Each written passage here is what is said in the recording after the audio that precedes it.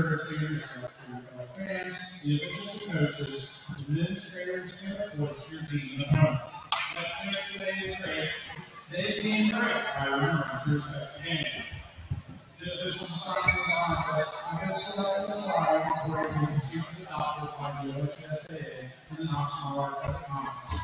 The officials for today's contest are Neil Schaefer, Greg Schnaufer, Jeff Whistler, and Garlic Creech.